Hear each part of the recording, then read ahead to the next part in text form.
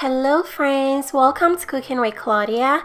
Today we're making garlic roasted broccolini.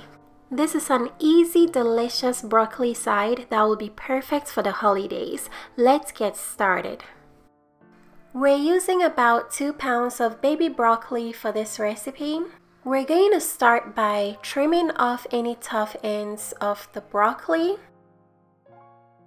Once all the tough ends have been cut off, transfer the broccoli into a big mixing bowl. Next, drizzle 3 tablespoons of olive oil all over the broccoli. Then add 3 cloves of minced garlic.